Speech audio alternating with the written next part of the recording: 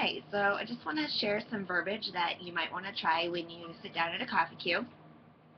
So when you find your location and you show up, and I really recommend you put out a coffeeEDU sign. You can print them off of the queue.org slash coffee website.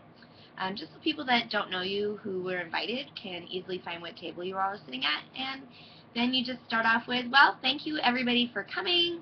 So here at coffeeEDU is based on the unconference model where it's participant driven.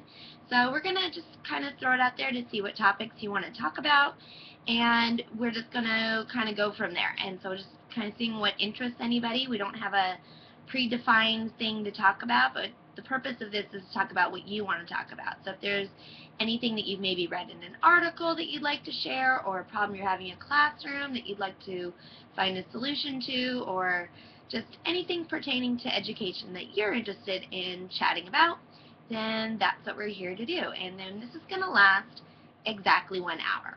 So at the end of one hour, even if the conversations are going really good, we're going to cut it off so that you're willing to come back and do another one because you know that you're only committing to one hour.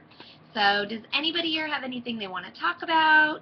Um, Have a couple ideas, but I'll just kind of wait and see if anybody has anything that they'd like to talk about, and probably we'll end up bird walking and covering five or six different things, but let's get started. So hopefully that will help you when you go to host a coffeeEDU. It's fun and easy and a low commitment, so just pick a time, date, and location, advertise it out on Twitter, Facebook, send out some emails, and just make it open to invite any educators. So hope to see you at a, at a coffeeEDU.